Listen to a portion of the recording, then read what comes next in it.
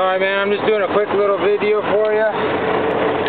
Miles, no check engine light or anything like that. Oil pressure. Just the interior. Everything's pretty nice in here, man. Floor. Motor's a little ugly. Get where the sun's not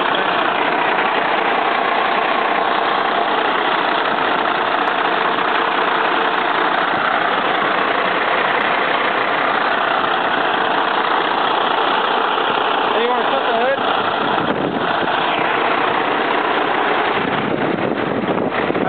hood? For you.